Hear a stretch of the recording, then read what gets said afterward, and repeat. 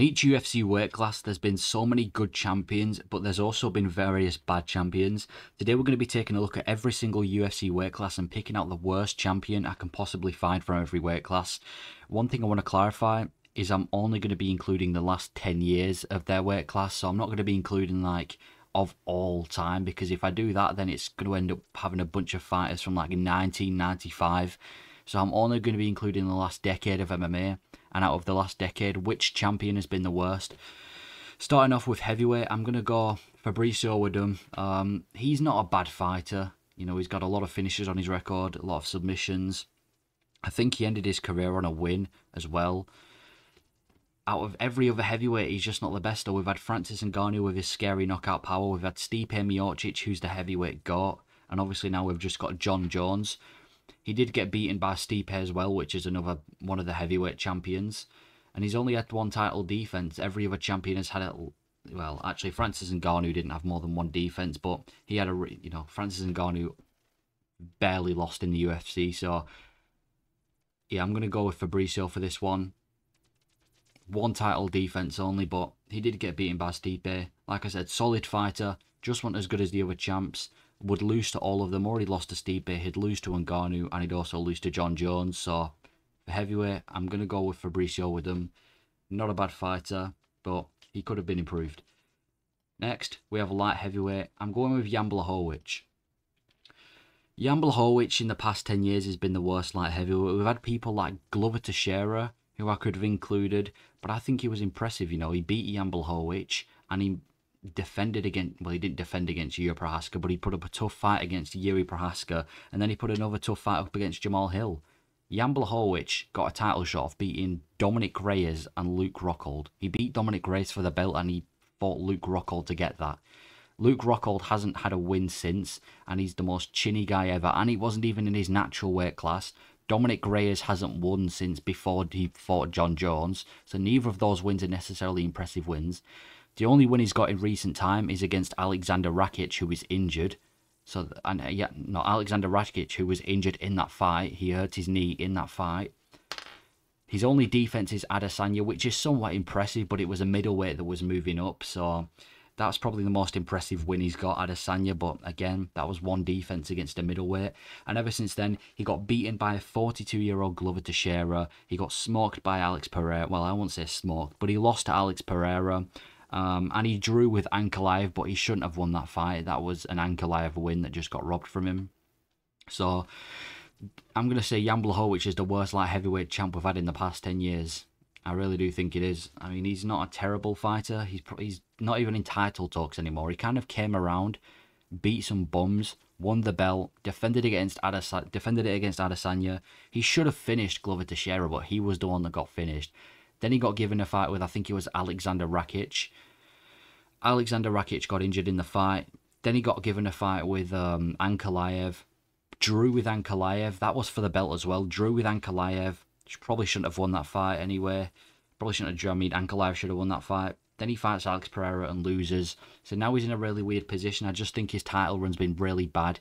And he's nowhere near title talks anymore. It needs at least two wins before he gets a title shot, in my opinion. So Alex Pereira, no, Jan Blachowicz is the worst light heavyweight champ we've had in recent UFC time.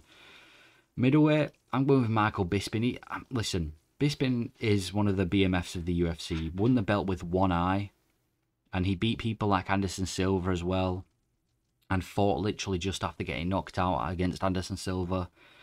But he is the worst middleweight champion we've had in the past 10 years. I mean, we've had Robert Whittaker, who's better than him. We've had Alex Pereira, who's better than him. We've had, obviously, Israel Adesanya, who's better than him.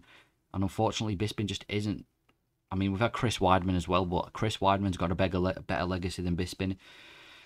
To get the belt, he beat Luke Rockhold. And I'm not going to say at this point Luke Rockhold was washed like he was when he faced Jan Blachowicz, but he wasn't peak Luke Rockhold. He was the champion at the time, but still a very chinny Luke Rockhold. And he had one title defense against an old Dan Henderson. This was an old Dan Henderson. This isn't the Henderson that fought Bisping the first time. This was an old Dan Henderson in 2016, I think it was. Then after that, he went on a two-fight losing streak. He got knocked out by Kelvin Gastelum and then put to sleep by GS. Wait, was it a GSP fight before? I think the GSP fight was yeah. He he lost to GSP and then he lost to Kelvin Gastelum, getting put to sleep in both. I, I see him as a Marvin Vettori. He reminds me a lot of Marvin Vettori. He's kind of like Marvin Vettori, but he hasn't got a good chin as Marvin Vettori, but he has got more power than Vettori, I'd say. But yeah, Michael Bisping, in my opinion, is the worst middleweight champion. Style wise, he's very average. Obviously, Lego, legacy wise, he isn't average. He's won the belt with one eye, but style wise, he's just very average. Didn't have the most impressive title run. Only had one defense against Dan Henderson. So I'm going to say Bisping is the worst middleweight champion we've had in the definitely in the past 10 years. Maybe not in history, but in the past decade, he's definitely not better than anyone else we've had. Next up, welterweight, I'm going with Johnny Hendricks. First of all, let's be honest, he was probably juiced to the gills as well. But then any, anyway, he got a title shot off coming off a loss. There's very, very rare that we get a fighter who gets a title shot off coming off a loss. And he was one of them. Um, and he didn't even defend the belt once. He did not defeat the belt once. He beat Robbie Lawler for the belt. Didn't defend it because he lost it immediately to uh, Robbie Lawler. And after that fight, he lost six out of his out of eight. I think he was a very undeserving champion. People say he did beat GSP when they fought. But you got to realize Johnny Hendricks was 100% on steroids, man. You can't deny that Johnny Hendricks is on steroids when they fought. And even then, that wasn't even, he didn't even win that fight, so that wasn't a title run. But yeah, his title run was pretty bad. Got a title shot after losing. I, I, I forgot who he lost to, but he, he, he lost and then got. I think it was GSP that he lost to. I think he lost to GSP and then got a title shot against Robbie Lawler but he didn't defend it once either. Lost it immediately to Robbie Lawler. It's kind of like he, he stole the belt momentarily and then got it robbed back by Robbie Lawler. Yeah, Johnny Hendricks for me in the past 10 years is the worst welterweight we've had. Tyron Woodley had a good run. Kamaru Usman had a great run. Obviously, it's not GSP. Leon Edwards has defended it and he's got a more impressive run in my opinion. He didn't lose it and he actually defended it. So I'm going to say Johnny Hendricks is the worst welterweight champion we've had. Next, we've got lightweight. Lightweight, I'm actually going to go Conor McGregor. If listen, career-wise, he had a great career in what he did. The first double champ, beat you know the way he knocked out Aldo in 13 seconds. But when we look at lightweight, he didn't get a single title defense. Not only in lightweight, but in his entire career, he never got a single title defense. He got the belts and then lost them immediately, or vacated them, or whatever. His first title defense, I think, was against Khabib, where he got absolutely mauled. That wasn't even a close fight. He got mauled by Khabib and lost the belt immediately after winning it against Eddie Al. Was it Eddie Alvarez? No, I think he. I think it was Eddie Alvarez. Um, since then, he lost to Dustin Poirier by knockout and he broke his leg. And his last win was an old washed Donald Cerrone who hasn't won in like seven fights. So he's not the most impressive lightweight run. He also barely beat Diaz to get the title shot. He fought Nate Diaz the first time, got submit, got submitted and lost for the first time in his UFC career. Then he fought Diaz again, which was a very, very close fight. Like Diaz finished him and he barely beat Diaz back, but he just about got a decision win over Diaz. Got a title shot, beat Eddie Alvarez, then he lost it immediately. When you look at it that way, it wasn't great. He's definitely not got a better legacy than Islam because Islam's beaten Volkanovski and Oliveira. Definitely not a better legacy than um, Khabib. Other lightweights could be up there, but I just don't think McGregor. I, I, think Eddie Alvarez had a better a better run than McGregor. To be honest with you, I think Eddie Alvarez, if you look at it, he actually had a better run because even after he lost the belt, he had a decent. He had, you know, he's picking up wins over people like Justin Gaethje. McGregor hasn't. His last win was Donald Cerrone. So I'm going to say Conor McGregor has the worst lightweight run. I'm also going to say Conor McGregor has the worst featherweight run. I think in the past 10 years he's had the worst, maybe not the worst featherweight run, but when it comes to actual title, we've had Jose Aldo, who's arguably the featherweight GOAT. We've had Max Holloway, who's one of the best featherweights of all time. And we've got Volkanovski, who's the featherweight GOAT. McGregor isn't above any of those people. Like I said, didn't get a single title defense his entire career, not even at featherweight. And the second he beat Aldo for the belt, he left and went to lightweight. So it's kind of hard to say that he he's the best featherweight champion when he won the belt and then left immediately. And there's only ever been three other featherweight champs, like I said, Max Holloway, Volkanovski, and Jose Aldo, and they were all better than him. They were all better than him in the past in the past ten years. They've all been better than McGregor. So he had a good run up to the title shot, you know, knocking people out, beating people he, he shouldn't have beaten. And the way he won the belt was impressive, the way he slept Aldo. But then after that fight, he didn't do anything. Max Holloway's done more than him. Volkanovski's done more. Um, and obviously Aldo's arguably the featherweight GOAT. So for featherweight, I'm going McGregor. Bantamweight, I'm going to say Cody Garbrandt is the worst.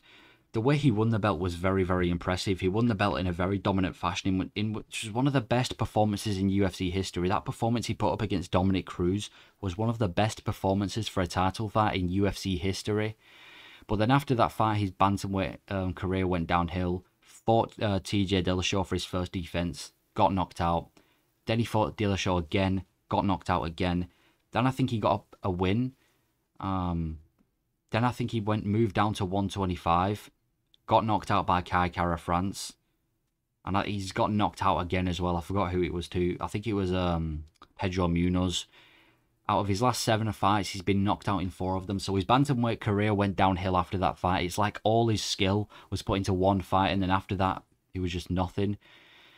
And Dillashaw, listen, we've had, what other bantamweight champions have we had? We've had Dominick Cruz, who's arguably the bantamweight goat. Dillashaw knocked him out twice. That's he's definitely not. He's probably the worst bantamweight champion. I'm, going to be straight up. He's probably the worst bantamweight champion. The fact that like the, the title fight that he had with Cruz was incredible. Probably one of the best title fights in history. But you can't just have one good fight for the belt and then do nothing else.